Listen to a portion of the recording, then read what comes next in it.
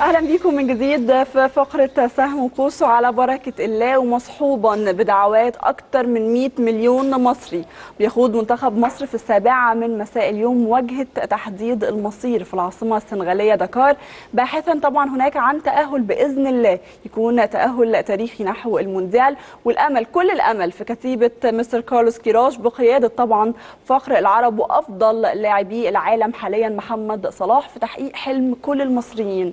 بلوغ نهائيات المونديال العربي في قطر شهر نوفمبر المقبل. أكيد هيكون لينا كلام أكتر عن اللقاء المصيري المنتظر وفرصتنا في التأهل. بيسعدنا دلوقتي يكون معانا في استوديو نهارك أبيض كابتن مصطفى إبراهيم نجم نادي الزمالك ومنتخب مصر الأولمبي. برحب بحضرتك يا كابتن منورني. أهلا بحضرتك وكل سنة وحضرتك بخير والشعب المصري بخير. ويا رب يبارك لنا في شعبان ويبلغنا رمضان إن شاء الله. آمين. والفرحة تكون من نصيبنا بإذن الله في المباراة المصريه اللي حضرتك قلت عليها مصر والسنغال. إن شاء الله نبارك لبعض بعد المباراة بإذن الله. بوصول مصر لنهاية كأس العالم. إن شاء الله. يعني النهارده حلقة تاريخية بتمنى إن هي تنتهي أو تكلل في نهاية. اليوم. إن شاء الله بفوز منتخب مصر. خلينا نتكلم يعني إحنا بقالنا أسبوع بنحاول إن إحنا نعمل كل يوم تغطية طبعا عن مباراة مصر والسنغال المباراة المرتقبة من الجميع.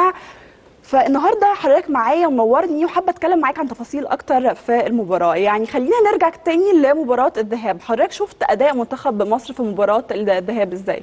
الأول إحنا عايزين نتكلم إن إحنا بنلعب منتخب مصر عايزين نتكلم عن نفسنا لأن إحنا محتاجين الدعم والمساندة آه، كلاعيبة المنتخب. آه، منتخب مصر منتخب قوي جدا. آه، منتخب محترم بيضم زي ما حضرتك قلتي أفضل لعيب في العالم محمد صلاح.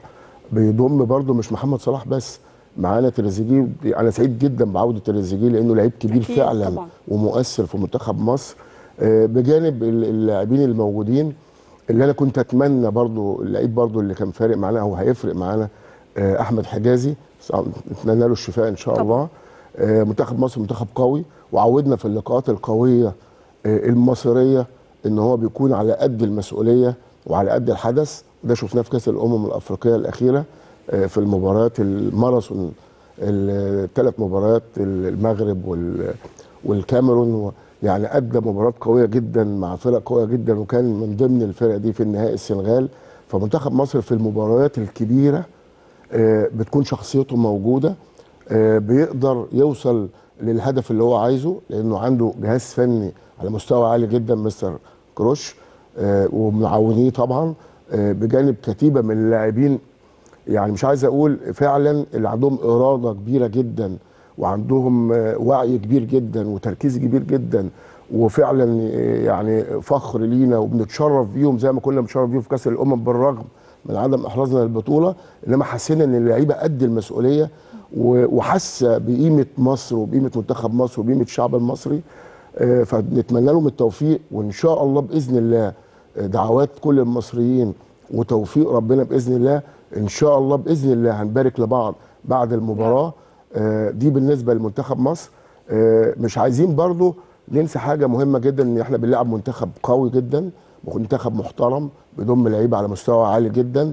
آه، يمكن أولهم مندي أحسن جون في العالم وقدام فوق آه، ماني. ماني من أفضل اللعيبة اللي موجودة في العالم. مش عايزين طبعا بنحترم الخصم وبنقدره. إنما إحنا عارفين إحنا عايزين إيه من المباراة؟ آه، إحنا لعيبتنا على قد المسؤولية. إحنا لعيبتنا في المباراة المصريه بتبقى فعلا في قمة تركيزها وفي قمة آه، الرجولة والروح والأداء. آه، وطبعا إحنا شايفين أنا بس هقول نبذة صغيرة كده المباراة اللي فاتت لما محمد عبد المنعم اتصاب ونتمنى له الشفاء طبعا. ألف سلامة عليك. إن إحنا لقينا محمد صلاح بيلعب back right. محمد صلاح النجم العالمي اله- الهداف الخطير. آه، عمر عمر آه، عبد عمر ال back right بتاعنا. آه، دخل محمود عمر جابر. عمر جابر. دخل بقى مساك ومحمد صلاح بقى back right. شوف الروح وشوفي وطلع كورة جوه ال 18 ب- يعني هي دي المسؤولية هي دي الروح. أنا عايز أحقق يعني أسعد. أنا بقى بتجرد من كل حاجة. أنا بتجرد من من من نفسي. ومن المنتخب أنا ببص في المدرجات. وببص للشعب المصري أنا بتجرد من كل الكلام ده أنا إزاي أسعد الشعب ده؟ إزاي أحقق أمنيات الشعب ده؟ إزاي أفرح الشعب ده؟ في حاجات مهمة جدا بتدي أنا كلاعب كورة وكمدرب بتدي كده يعني إحساس إن إن شاء الله ربنا معانا. الهدف اللي إحنا جبناه في مصر هدف يعني في توفيق كبير جدا من ربنا. آه في تعب وفي شغل اتعمل إنما في توفيق كبير جدا من ربنا. وطالما توفيق ربنا إن شاء الله معانا. إن شاء الله بإذن الله هيكمل معانا في مباراة السنغال. وإن شاء الله بإذن الله هنو يعني أنا يعني الواحد طبعا بيقول إن شاء الله بإذن الله هنبارك لبعض بعد الماتش إن إحنا إن شاء الله نعبر ال- ال- الموقعة القوية الصعبة دي. يعني خلينا نتكلم عن النهارده يعني مباراة مهمة مباراة الدفاع هيكون فيها كلمة السر. يعني شايف تأثير غياب الونش ومحمد عبد المنعم في لقاء النهارده إزاي؟ هي دي المشكلة. يعني انت لما بتقعدي شوف إحنا بنتكلم مع بعض كمحللين ومقدمين برام- برامج والشعب حتى بره كله بيتكلم مستر كروش هيحل المشكلة. إحنا بنثق ثقة كبيرة جدا في لعيبتنا وفي جهازنا الفني ان هو قادر ان هو يحل المشكلة دي. طبعا إحنا كل اللي بنقوله اجتهادات انما أكتر واحد يقدر يعني يحط ايده على ال- العلاج الصحيح ال- الجهاز الفني اللي هو اقرب واحد موجود للاعبين. اللي إحنا بنشوفه من المعطيات اللي موجودة والأسامي اللي موجودة ان طبعا في محمود علاء موجود في ياسر إبراهيم هو أول لما حصل هو أكيد في في, في يعني أي مدرب بيبقى لما بيجي لاعب مثلا مساك أو اتنين مساكين وفي اتنين بره بيبقى في واحد نمرة واحد تغيير في نمرة اتنين. فواضح جدا إن هو نمرة واحد كان بالنسبة للمساكين إن هو محمد لما محمد عبد المنعم اتصاب إن هو ياسر إبراهيم ياسر إبراهيم. طب رأيك في أداء ياسر إبراهيم؟ يعني خصوصا زي ما حضرتك قلت بنسبة كبيرة هيلعب أساسي النهارده. بصراحة يعني يعني هو المباراة اللي فاتت أدى أداء جيد. آه، بالنسبة إن هو بقى له فترة برضه مش موجود ما بيلعبش أساسي ولعب في مباراة صعبة وكبيرة جدا ولعب في وقت كنا مضغوطين فيه بشكل كبير جدا أدى أداء جيد جدا. آه، آه، آه، طبعا في محمود علاء لعيب برضه مش مش لعيب مميز ولعيب كبير وعنده خبرات. في استدعاءات حصلت لعلي. جبر علي جبر ورامي ربيعة. رأيك في آه، آه، يعني أنا طبعا بصي إحنا دلوقتي مصلحة مصر فوق أي شيء إحنا لازم نتكاتف وندعم ونساند منتخب مصر لأن المدير الفني آه، يعني إحنا دلوقتي عندنا ثقة كبيرة جدا فيه لأن هو راجل وصلنا لمرحلة يعني كويسة جدا. من الأداء ومن اختيار الطريقة ومن يعني شكل الأسلوب اللي بيلعب بيه اللاعبين. فإحنا عندنا ثقة كبيرة جدا في المدير الفني وفي اختياراته.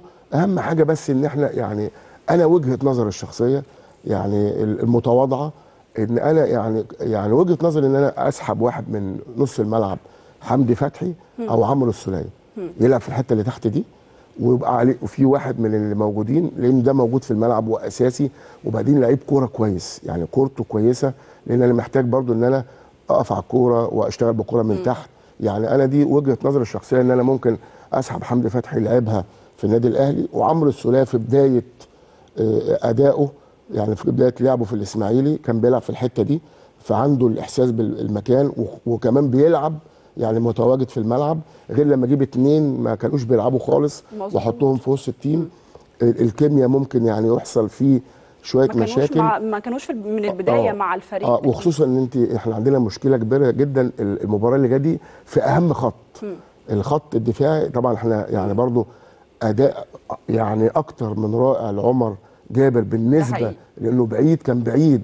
مظبوط. وجه من بعيد قوي ولعب مباراة كبيرة جدا قدام فريق كبير جدا وأدى أداء جيد. إنما إحنا هناك محتاجين برضو يعني أحمد فتوح شغال كويس. أنا محتاج المباراة دي برضو. أعتقد إن آه، عمر كمال عبد الواحد يعني عشان الأجسام والهيدرز إن هو يبدأ بعمر كمال عبد أعتقد لأن الواحد إحنا محتاجين. برضو إحنا كنا بنعاني من المباراة الأولانية من الكور الثابتة وهم بيلعبوها بشكل جيد جدا. يعني أنا عايز برضو أعمل يعني أعمل توليفة وعمر كمال عبد الواحد يعني شغال مع المنتخب. شغال وبيلعب يعني الكيمياء موجودة والانسجام موجود آه إن أنا ممكن أبتدي بيه وفي وسط ال- الوسط المدافع اللي هو المساكين. يعني أعتقد يعني من وجهة نظري المتواضعة إن ممكن عمرو السولية أو حمدي فتحي يكون البديل مع واحد من المساكين اللي موجودين علي جبر ياسر إبراهيم. لأن أنا عايز أعمل برضو مش عايز إن أنا أحط ناس بتلعب بدماغها كويس واقفل إن أنا عايز أمسك كورة من تحت واشتغل بيها لأن دي مهمة جدا ودي من أميز ال ال أو نقط القوة في أداء المنتخب السنغالي. يعني كنا بنتكلم في الانترو عن الكرات الثابتة وهي قد إيه خطر طبعا على خط دفاعنا شايف إزاي ناخد بالنا من حاجة زي كده؟ أول حاجة المدرب هيقولها إن أنت في الثلث الأخراني ده يعني التركيز كبير جدا إن أنت ما تعملش أخطاء في الحتة دي. يعني لأن الأخطاء في الحتة دي قاتلة يعني تعتبر زي ضربة الجزاء. لأن إحنا شفنا أطوال كبيرة جدا. وإحنا للأسف إحنا بنعاني لأن إحنا الأطوال بتاعتنا طبعا في أطوال 190 وحاجات يعني طوال جدا. يعني آه طوال جدا. فطبعا أول حاجة طوال. هتتقال من المدير الفني إن أنا لازم أخطائي في الحتة دي آه، تبقى قليلة جدا. آه، آه، الحاجة الثانية إن الخطأ لما يتعمل زي ما بقول لك اختيار التشكيل بقى بيفرق في حتة إن أنا لما الخطأ ده موجود أنا عندي مين اللي بيلعب هيدرز كويس مين اللي هيشتغل. الشناوي عليه عامل كبير جدا النهارده إن هو أكيد كابتن حسام الحضري في الفترة اللي فاتت دي اشتغل في الحتة دي لأن هو برده لو طلع اشتغل بالبوكس أو مسك هيريح كتير جدا ويشيل عبء كبير جدا على المدافعين ويقلل الخطورة. آه النهارده لازم نكون في قمة تركيزنا. المباراة الكبيرة الفاصلة دي لازم اللعيبة تكون في قمة تركيزها لأن الخطأ آه، لو حتى صغير ممكن ما ي- ما ما, يتعوضش ما تعرفش تصلحيه. لازم نبقى في قمة تركيزنا قمة التزامنا قمة الروح. النهارده إحنا مش بنلعب جيم دفاعي إحنا بنلعب جيم دفاعي مغلف بشكل هجومي لأن إحنا عندنا أحسن لعيب في العالم أندية أكبر أندية في العالم بتخاف منه. النهارده إن شاء الله أنا. أنا بلعب مش ضد السنغال أنا النهارده بلعب ضد الوقت. الوقت كل ما ابقى حريص جدا إن أنا أبقى ماسك كورة بستحوذ ما بديش فرص لعب. أهم حاجة النهارده الخطوط تبقى قريبة من بعض جدا لأن منتخب السنغال عنده سرعات ومهارات كبيرة جدا. وشفنا الكلام ده في المباراة الأولانية إن أنا لازم أحافظ على خطوطي تبقى قريبة جدا من بعض سواء في الناحية الدفاعية أو في الناحية الهجو- الهجومية. لما بنقل نفسي في الهجمة لازم انقل نفسي ورا الكورة يعني عشان أقلل المساحات وأقدر أشتغل يعني ما أديش فرصة للمنتخب السنغالي إن هو يتحول للناحية الهجومية لأنه عنده سرعات كبيرة جدا وإحنا شفنا وعانينا المباراة الأولانية من المشكلة دي. الجنب اللي بيلعب ناحية ال right ناحية السنغال الجنب ده يمكن جنب الشمال. كل فرقة السنغال فرقة قوية جدا. إنما محمد صلاح ناحية ال right عامل يعني موقف الناس. يمكن ماني هو اللي بيشتغل في الحتة دي من فوق. وإحنا إن شاء الله بإذن الله عمر وال- واللعيبة ال defender ات اللي في نص الملعب نقدر نقفل الملعب على على بشكل جيد. لأن برضو المباراة الأولانية كان في اندفاع وكان في التركيز مش 100% يعني الروح كانت غالبة كان بيستغل لأنه لعيب كويس جدا. كنا اتنين بنضغط عليه واقفين جنب بعض. مش ممكن لازم واحد بيضغط واحد في ضهره عشان لو عمل عدى اللي كان الماتش الأولاني بيعدي الكورة وبيعدي تلاقي نفسه رايح للجون. فطبعا إحنا يبقى في تركيز الشكل الدفاعي يبقى منظم أكتر. نضايق المساحات بشكل كبير جدا. آه، جنب الرايت آه، ال- ال- الرايت بتاعهم هو. آه، ديسار و- وإسماعيل سارة ولا- لازم يبقى في تركيز آه، نقفل على ناس تريزيجيه يقفل يشتغل من فوق ديفندرات يبقى في ميل شوية ونقفل الحتة دي لأن هو ده الجنب اللي كان شغال بشكل كبير جدا في المباراة اللي عندنا مع شوية اختراقات من مانيه لما كان عدم التركيز وعدم التنظيم داخل الملعب. آه، بجانب إن أنا لما بعمل الكلام ده أنا بضيق المساحات زي ما عملت في كأس الامم الأفريقية أنا قفلت عليهم المساحات بشكل كبير جدا. وبعد كده عندي سرعات وعندي لعيبة كبيرة جدا تقدر تقف على الكورة وتقدر تشتغل في المساحات. عندي عمق هجومي عندي لعيب آه، آه، هداف كبير جدا ولازم النهارده الناس دي عليها عبء كبير جدا. إحنا مش بنقول الجانب الدفاعي مهم إنما الجانب الهجومي أهم لأن هو ده اللي هيشيل العبء وهينقل الفريق من الناحية الدفاعية للناحية الهجومية ونستغل الثغرات اللي هتبقى موجودة أكيد مع مرور الوقت. هتبقى في مساحات كبيرة جدا لأن هم عندهم مشكلة كبيرة جدا برضو إحنا عايزين نتكلم إن طرفين الملعب ما لهمش دع- دعوة بالتغطية اللي داخل الملعب. كولوبالي وديالو الاثنين جوه الملعب يمكن ديالو اتصاب الماتش اللي فات اللعيب الثاني اللي هو بتاع. أولمبي- أولمبياكوس آه، اليوناني آه، يمكن لعيب نفس style آه، ديالو إنما آه، ال- التغطية الداخلية بتبقى مش موجودة. ففي يعني مشاكل في في ال back ين اللي فوق. تريزيجيه وصلاح إن شاء الله قادرين إن هم يستغلوها. مصطفى محمد يشتغل في العمق الهجومي عشان يشغل الناس دي ويسهل للناس دي إنها تروح في المساحات وفي وقت من الأوقات تبقى محطة نشتغل عليها ونطلع بالكوره فيها. فالناس دي لازم تبقى النهارده إحنا بنتمنى النهارده بإذن الله حاجتين مهمين جدا لعيبة في قمة تركيزها اللعيبة في قمة التزامها اللعيبة في قمة التنظيم الدفاعي والهجومي قمة الروح. حاجتين مهمين جدا لازم يكونوا إن شاء الله موجودين. توفيق ربنا سبحانه وتعالى وحالة اللعيبة النهارده. اللعيبه عندنا ثقة كبيرة في ربنا عندنا ثقة كبيرة جدا فيكم. اعملوا اللي عليكم. اشتغلوا وابذلوا أقصى جهد عندكم. شعب المصري وانتوا راجعين من كأس الأمم الأفريقية سعداء بيكم وفخورين بيكم. إن شاء الله هنكون سعداء وفخورين بيكم النهارده. بس بفوز ووصلنا لكاس العالم يعني أفتكر إن الأفضلية عند المنتخب المصري عند اللعيبة أفتكر إن ده آه، نفسيا هيكون فارق بشكل كبير جدا معاهم إحنا المتقدمين. فأفتكر إن ده هيكون في في آه، شيء إيجابي عند لعيبة المنتخب المصري وبالعكس عند منتخب السنغال. شفنا طبعا تصريحات اليو ساسي بيتكلم عن إن الوقت هو عدوهم الأساسي دلوقتي وهم مضغوطين جدا وأكيد كمان الجماهير عندهم الجماهير السنغالية هتكون بتصدر يعني كمية ضغط كبير نتمنى إن الضغط ده يكون بشكل سلبي نتمنى إن الضغط ده ما يأثرش عليهم بشكل إيجابي ما يحمسهمش أكتر إن نتمنى إن الضغط ده يصدر لهم طاقة سلبية تخليهم آه، ما يقدموش أفضل أداء ليهم في المباراة. يعني زي ما كنا بنتكلم إن الضغط هيكون بشكل كبير جدا على منتخب السنغال النهارده. ال- ال- الجمهور طبيعي طبيعي زي ما منتخب مصر هنا ال- الجمهور هو كان داعم والسند والظهر وهو اللي بيحقق ال- ال- قوه الدفع للعيبة. أكيد الجمهور هناك هيشتغل نفس الأداء. أنا لا عندي لعيبة كبيرة جدا لعبت في الضغوطات دي سواء اللعيبة اللي بتلعب في المنتخب بيلعبوا في أهلي زمالك في فرق أوروبية كبيرة جدا. آه، عندنا خلي بالك إحنا عندنا ميزة كبيرة جدا. إحنا عندنا مدرب كبير داخل الملعب. مش مدرب إحنا عندنا ثلاث مدربين داخل الملعب وده بيفرق في أدائنا. التوجيه وحتة إن أنا امتص في أوقات كبيرة جدا آه، صلاح بيمسك الكورة بيهدي رتم اللعب. تريزيجيه بيمسك الكوره بيهدي رتم اللعب لأن دول لعيبة كبيرة وأنا بقول دول نني تريزيجيه محمد صلاح مش لعيبة بس في الملعب ده لعيبة ومدربين. لأن في وقت من الأوقات هم بيحسوا إن الجيم أو زي ما بيقول شخصيته مش موجودة شخصية منتخب مصر بيحاول إنه يرجعها بيحاول يخلي رتم المباراة في إيدين منتخب مصر. فاللعيبة دي مهمة جدا واللعيبة اللي موجودة الثانية بتشتغل على نفس ال- ال- الشكل أو نفس الأداء. مهم جدا إن إحنا نتحكم في رتم المباراة. مهم جدا إن إحنا يعني زي ما بنقول كده إحنا النهارده عايزين نلعب آه، يعني رتم المباراة نتحكم فيه السرعه في صالح السنغال. سرعة رتم المباراة في صالح السنغال في أوقات كتيرة وخصوصا في الناحية الهجومية. إن أنا عايز أعمل حاجات كتير جوه الملعب. أنا عايز أفقد منتخب السنغال شخصيته. شخصيته موجودة إزاي؟ إنه بيحضر الكره من تحت. لازم مستر كروش واكيد وهو عمل الكلام ده في في المباراة الأولانية إن هو ضغط من فوق إنه حاول إن هو خصوصا في أول 25 دقيقة أو 27 دقيقة إن إحنا جبنا جول وتحس إن إحنا مسيطرين على المباراة شخصيتنا موجودة داخل الملعب. دي مهمة جدا النهارده إن أنا أفقد منتخب السنغال شخصيته إن أنا ما أخلوش يحضر من تحت يلعب الكور الطويلة. وطبعا أنا لما بضرب ببقى محضر نفسي للكور الطويلة دي ال second ball دي تبقى بتاعتي أنا. الحاجة الثانية إن أنا عايز خطوطي تبقى قريبة جدا من بعض عشان ما أديش فرصة لإسماعيل صار ومانيه ومندي لعيب نص الملعب اللعيبة السريعة المهارية دي إنها تقدر تشتغل آه، في مساحات. أنا عايز اضيق المساحات عشان ما أدوش فرصة للكلام ده. يبقى في شكل منظم داخل الملعب طول ال 90 دقيقة. يبقى أنا بقفل المباراة على منتخب السنغال والوقت بمشيه اللي هو في صالحي اللي هو بيضغط بيه الجماهير على الفريق. الكلام ده بيخلي فرقة السنغال تنضغط أكتر. طبعا لما. بينضغط أكتر تركيزه بيقل ولما التركيز بيقل الأخطاء بتظهر.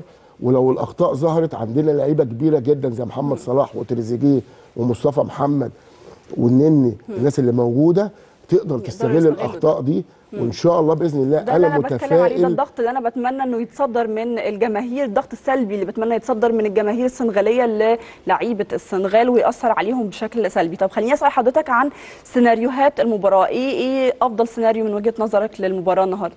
طب إحنا أفضل سيناريو بالنسبة لنا للمباراة تطلع 0 0 وأفضل أفضل من السيناريو ده إن إحنا نجيب جول ويبقى 1 0 إحنا لو لعبنا على صفر صفر بصراحة ما فيش مش حد ده ما فيش يعني مدرب. مش ده أفضل. آه، بص يا إنجي ما فيش لا ما فيش مدرب بيلعب على صفر صفر. أنا بالظبط، راجل أنا راجل ما فيش حد بيدافع بس. وخصوصا أنا عندي القدرات مستر كوبر زمان آه، كنا بنقول منتخب محمد صلاح. النهارده مستر كوش غير شكل المنتخب. النهارده بقى في المباراة دي إحنا عايزين نرجع لمستر كوب. إحنا عايزين نقفل كويس قوي ندافع بشكل جيد جدا في تركيز في تنظيم آه، في روح. الأخطاء تبقى موجودة في الثلث الوسطاني. ونشتغل بقى على محمد صلاح في المساحات اللي هتبقى موجودة أو تريزيجيه أو مصطفى محمد. ده اللي لازم يبقى موجود النهارده. السيناريوهات أكيد السيناريوهات اللي موجودة إحنا معانا يعني إحنا صفر في كذا في كذا سيناريو إحنا إن شاء الله متاح صاعدين. النهارده إن شاء الله. آه، واحد صفر إحنا صعبنا المأمورية كتير جدا عليهم. حتى لو دخل فينا جول واحد صفر إحنا لسه عندنا أمال كبيرة وعندنا لعيبة كبيرة يا جماعة وإحنا عندنا منتخب قوي.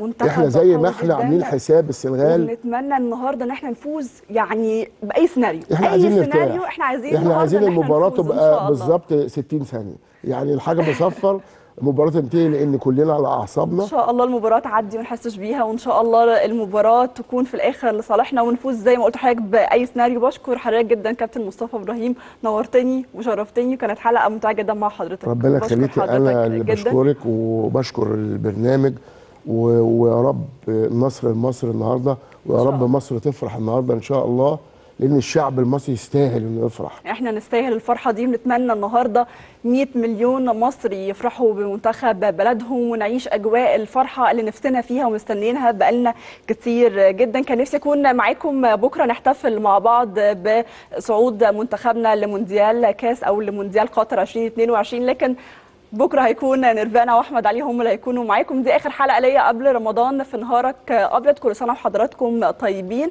ويعني خلونا نقول كده إن شاء الله بكرة نطلع نحتفل مع بعض. دايما آه، يعني دايما تكونوا آه، بخير. ونشوفكم في حلقة جديدة بكرة إن شاء الله.